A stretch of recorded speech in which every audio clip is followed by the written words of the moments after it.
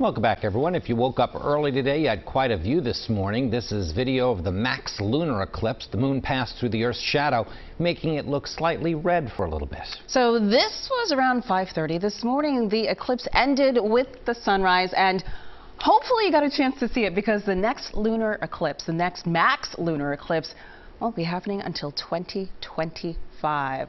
A little ways off. I saw some people, though, Larissa, posting in other parts of the country